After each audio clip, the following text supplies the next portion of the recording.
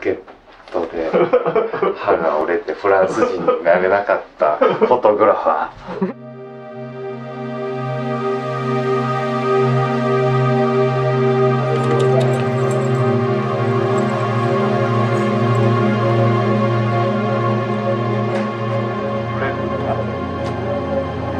フォトグラファーの愛がある景色ですね。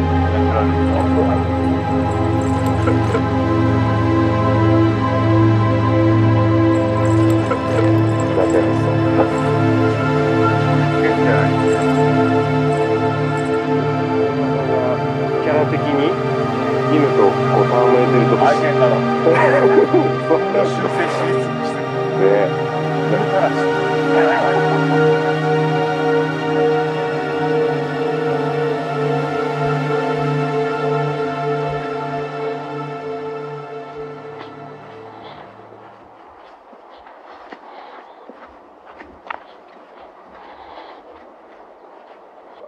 もちろん一枚の力ってあるんだけど、それだけじゃなくて、見るってどういうことってさ、本当に見てるんだろうか。その見ることの精度を上げるためには、あの写真っていうかカメラっていうのはいい道具なのよ。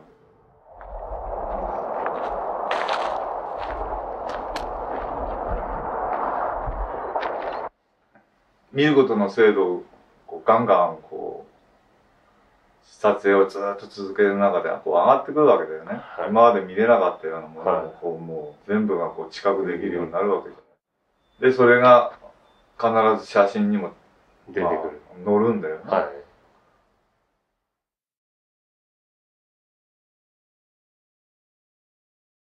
あの、ディープで、ディープで深い。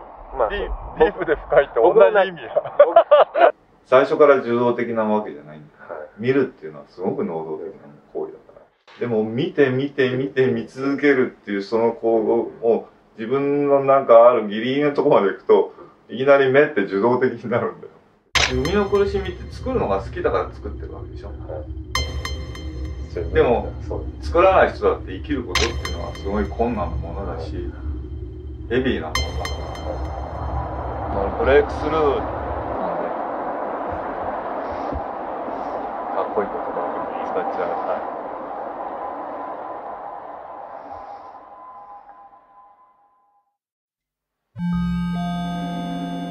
難しい質問だよね、それね。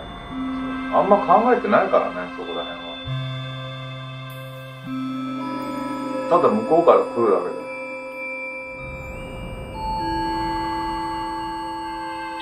例えば僕、川のシリーズもあるし、ブッシュとか地面のシリーズとかって、それは被写体だけ見たら、それは川であり、ブッシュでありっていう。違うよね。川取ろうと思って川取り始めたわけじゃないし、地面取ろうと思って川取り始めたわけじゃない。でも一貫して求めてるものっていうのはブレることが僕にあ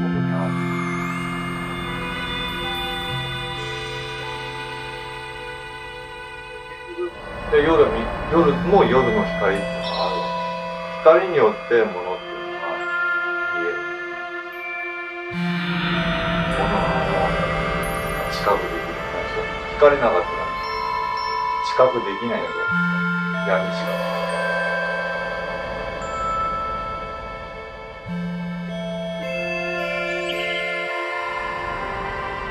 光を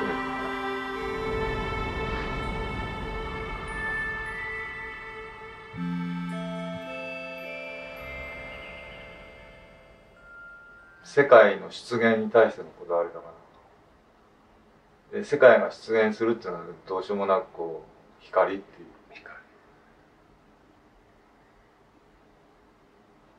源がないから。ものが存在し得ない。知覚し得ない。見るってそういうことじゃん。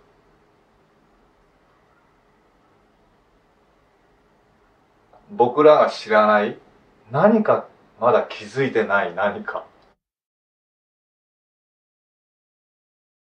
そこにこうどれだけ近づけるか、うん、触れたい。触れたい。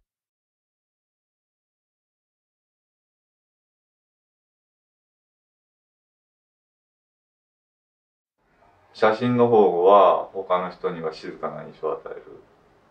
音楽の方はなんかすごくこうこってりと自己主張が強いと思われるんだけど、写真の時みたいに向こうからやってくるとまた違う向こうから聞こえてくるよ。それはここここにここの音でしょ。みたいなっていうそこは、そこのその自分のそれを詰めていくだけだから。じゃあ基本的には受け身なの？基本的には受け身だね。受動性の精度を上げるみたいな感じだね。写真も音楽もね。普通やったらそのものに気づいたとしてもそのう受け切れる状況じゃなければ受けられないですもんね。だかだから精度を上げ上げて受けれる状態。受けれる状態にする。女。いわゆるその受け身？受け受けてでも音楽受けてこう作るわけじゃん。身表現するから能動的結果は能動的なわけじゃないですか、うんただ出来上がる瞬間っていうのは受け身っていうかその受動的なそうだね。音楽は編み物を作ってる感じだよ。音で一つ一つこうなんか描写状態じゃなくて、編み上げていくそこはもう写真とは全然違うから。だから細かく細かく細かく編み上げようとしたあと時間があるじゃん時間があるの場合一瞬だから。音楽って完全なイメージはい無音から始まる無音から例えば一つの例えばピアノでもストリングスでもシンセサイザーでも音があるその音聞いてその一つの音を聞いて、ピアノっつったっていろんなピアノの音があるわけ例えばストリングスでもいろんな音があるじゃん。あこれはこれいいな。そっからそっからどんどん広がってくる編み上げて写真を撮ってる時に音っていうのは？聞こえない。聞こえない、写真を撮ってる時に音を聞こえて音のことを意識すると視覚が逃げてくんだよね。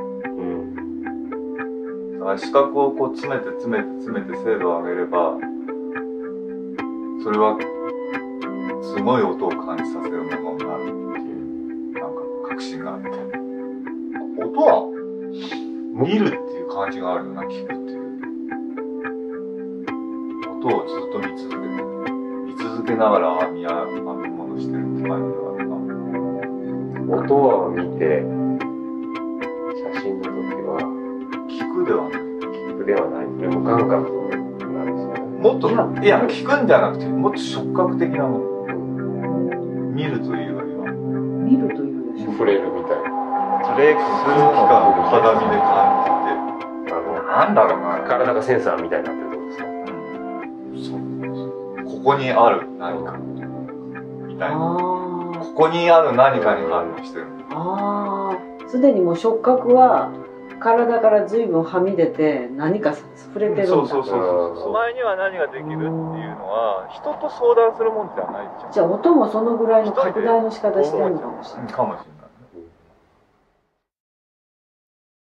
じゃあ面で見ながら触覚を使って耳で聞きながら見てるんだ音、うん。音は見るもんです。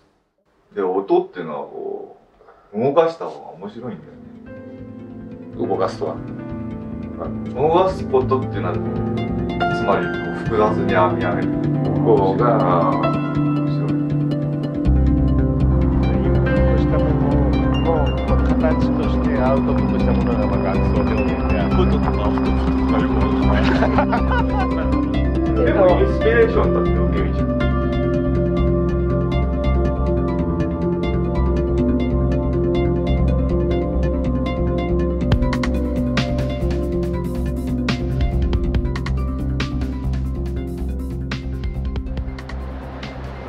がない。でもそれこそ未知の世界じゃん。なんて。で音楽もそのアイヌの歌やった時にでアレンジ。あのまあ、龍華館というユニットでアイヌの歌がまずあって、それにアレンジ乗せて現代的なアプローチでいう音楽作ってたんだけどそれももうもう嫌になるほど聞くんだよね足しげく同じ場所をもう必要に通う。じゃあ何をそれで期待してる？何を待ってるのかっていうと向こうが寄ってくるのか。向こうがやってくる近づいてくる。そのためには何度も何度もそこの場所。歌で言えば何度も何度もその歌を聴くことによって自自然にアレンジして出来上がってくる本当にそういう意味ではなんかその自分の表現のためには出来上がるその寸前までずっとひれ伏してるわけです。ひれ伏すというか、もう巡礼だよ巡礼です神の声を聞くまでまでは巡礼を続けることが好きなんですよ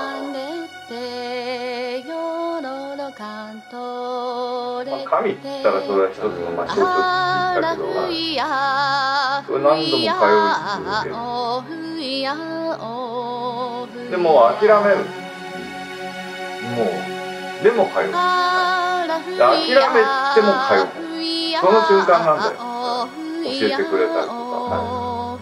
マジチラ見せチラ見させてくれる。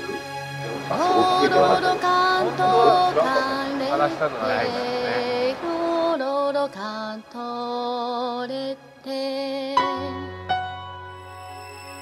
よろろかんとかんれて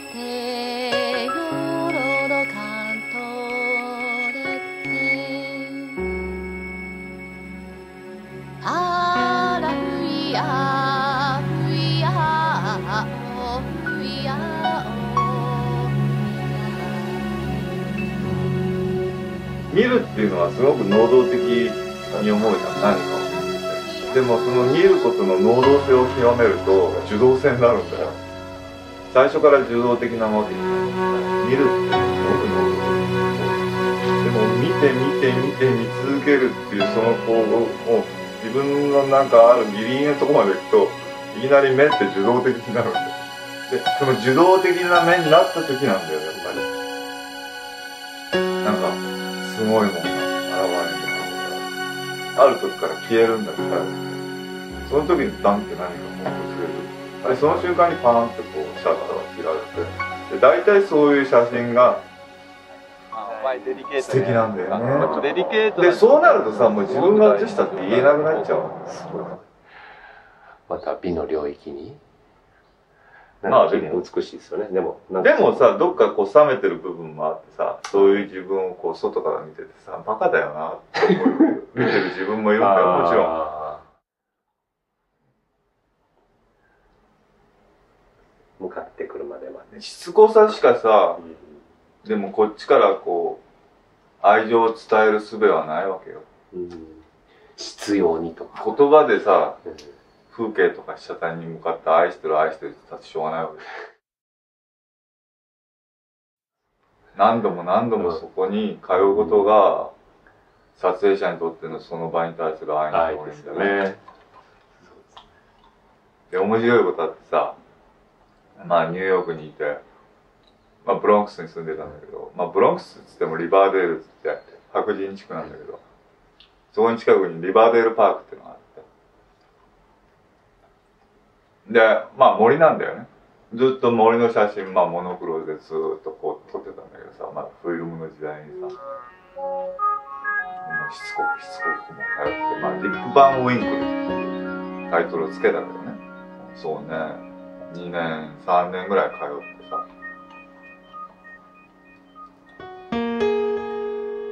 それはブッシュのまあブッシュがブッシュシリーズを撮ったからこそそこに迎えたっていうのはある程度こうあもうできたな。もうこれ以上撮れんな。これ以上撮れんなっていうのが僕の終わりの合図なのよ、うん。一つのシリーズの。もうこれ以上撮れないって。これ以上やってもただのこう自己模倣自己反復につながるだけってなった時にやめちゃうんだけどさそれで行くのをもうやめちゃうじゃんやっぱり。もうそこ撮影、うん。うん。絶えず俺は外行く時ってのはカメラと共にいたからさで、2、3年経って辞めて、その1週間後、夢にね、こんな小さなね、妖精がね、5、6人はっと気づいたらこういう風にやって、遊んでんだよ。で、それを見たときに、明らかにそのリバーデールの森に住んでるものが来たっていうのがわかるんだよ。最近来ないじゃんみたいな感じで。で、そのこう自分の体をこうさ、こう寝ててこう体の上をこう歩いたりとか生えてんだけど、それがもう気持ちよくてさ。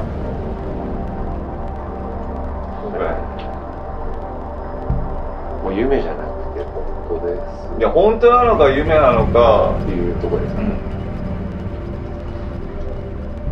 わかんないけど、あの撮影中になんとなくそういうのを感じるよね。精霊みたいな精霊みたいな。そんな形はないんだけど、なんか見られてる。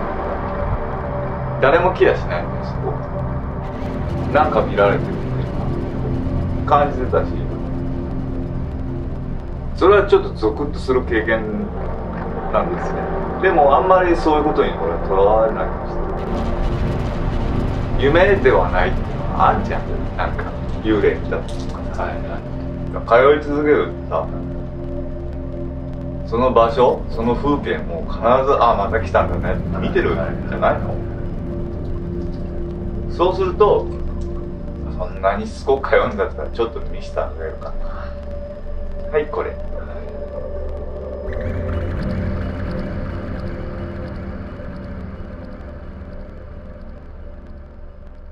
んまりそういうの神秘的な話にしたくないから言わないけど、はいはご褒美ねってあの、自分が撮った写真の中で、自分でも素敵だなと思う写真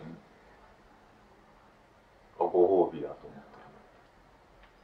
自分が撮ったっていうよりは、ご褒美をいただいたっていう気はあるわけです。はいそれなんか素晴らしいです。そう？いやなんか僕は好きですねそういう。ああの向こうからやってくるとかいただく。そのあんでためになるんだよね音が 撮影中にガムならダメ表現とか、うん。うん、神秘的なもんなんじゃないかな。言葉でとか、それがなんかこう、機械との違いじゃないかな。なんか、まあ機械もなんかまあ不思議な、あれを起こすけど、いわゆる芸術の最大の魅力って、どうしてもこう、頭では理解できない何かこう神秘的なものがあるんじゃないかな。だって生きてるっていうことは変化するから。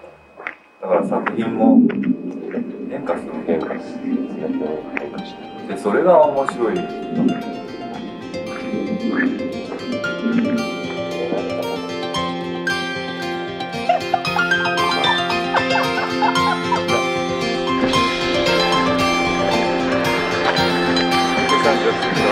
す